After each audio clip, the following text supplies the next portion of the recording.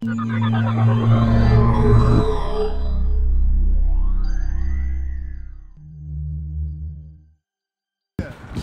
got a good one for you.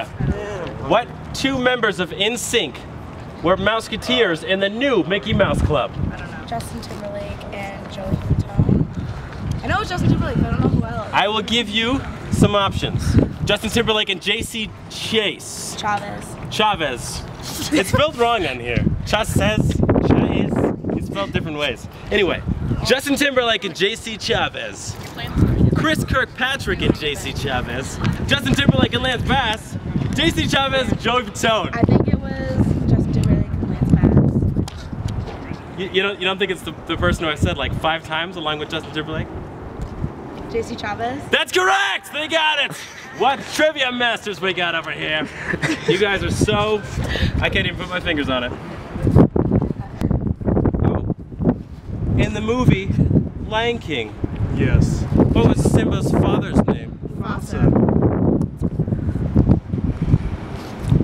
You guys got it? Hamlet? King Lear. No. No, it's totally him. Lion King No. is Hamlet. You're wrong. Yeah, it's Hamlet. That was on, that was on film. King Lear, he has like three daughters and stuff. That one's really weird Oh, I'm though. of a